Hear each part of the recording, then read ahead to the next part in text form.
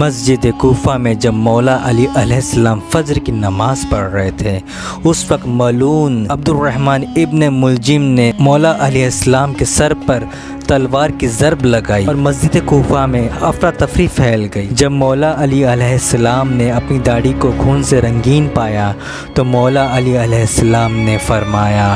फस्तो रब्बिल काबा रब काबा की कसम आज अली कामयाब हो गया सलाम हो मेरे मौलाए कायनात मुश्किल खुशा शेर खुदा मौला अली